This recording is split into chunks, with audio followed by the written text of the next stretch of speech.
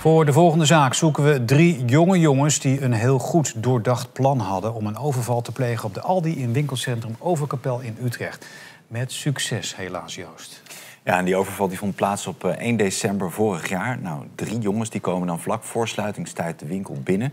Een van die jongens die spreekt dan de medewerkster in die winkel aan... waarop de andere twee jongens uh, zich weten te verschansen in het magazijn... om later, na sluitingstijd, toe te slaan. Ja, er is bewakingsbeeld hè, van wat er zich in de winkel afspeelde. Ja, en afgaand op dat beeld en op de verklaringen die de winkelmedewerkers uh, hebben afgelegd, kunnen we ervan uitgaan dat het om minderjarige jongens gaan.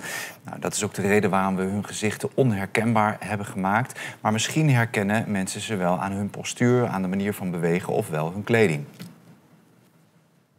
Hier komen ze de winkel binnen. Dit zijn verdachten 1 en 2. En vlak daarna komt nummer 3. Nummer 1 en 2 zien we hier weer in het gangpad. Ze hangen wat rond, wachtend tot nummer 3 zijn rol uitvoert. Hij leidt een medewerkster af door haar te vragen waar een bepaald product staat. Ze wijst hem waar hij moet zoeken. Maar dat is niet de bedoeling. De medewerkster moet uit de buurt van de andere twee. Daarom komt hij terug, zegt dat hij het niet kan vinden en deze keer loopt de medewerkster met hem mee. Dat geeft de andere twee de kans om door te lopen en zich te verstoppen in het magazijn.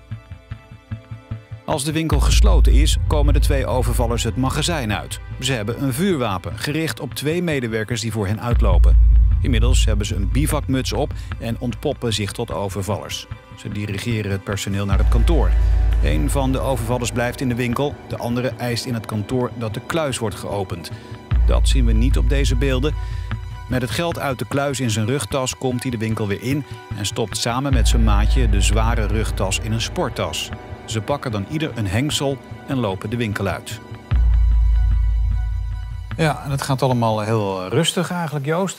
We hebben elementen van die jongens. Zeker. En de eerste verdachte dat is een lichtgetinte jongen. Die heeft een slak tot normaal postuur. En hij droeg een zwarte jas met capuchon van het merk The North Face. Uh, hij droeg een grijze capuchontrui, een zwarte trainingsbroek van het merk Adidas... met daaronder zwarte schoenen. Verdachte nummer 2 heeft een blanke tot lichtgetinte huidskleur... heeft een stevig postuur, droeg een donkerblauwe jas met een capuchon... had een donkerkleurige broek aan, zwarte schoenen... en een zwarte tas bij zich van het merk Nike. En dan de derde verdachte, dat is een lichtgetinte jongen met een slank postuur. Hij had zwart kort haar en droeg een beige jas met zwarte schouderstukken, zwarte banen op, op de mouwen en een wit logo. Een grijze broek met daaronder zwarte schoenen. Heeft u tips die de politie kan helpen dit drietal te vinden? Twijfel dan niet en bel de tiplijn 0800 6070. Noemt u liever niet uw naam, bijvoorbeeld omdat u deze jongens persoonlijk kent. Bel dan met M 0800 7000. Dan wordt uw naam niet genoteerd.